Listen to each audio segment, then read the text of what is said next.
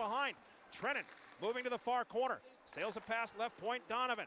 Right point, Cadet with a wrister. High end. Appleby will pin it to his chest, and now Olivier and Stoykewych are going to throw hands. They drop the gloves.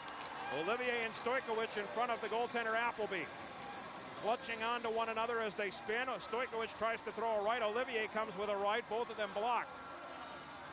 Olivier and Stoykewych spinning around between the circles. Nothing happening yet.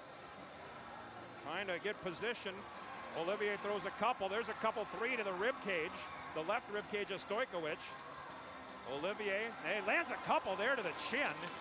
A couple of good straight rights from Olivier. There's one to the back of the head. Now another to the rib cage from Olivier. Then a left.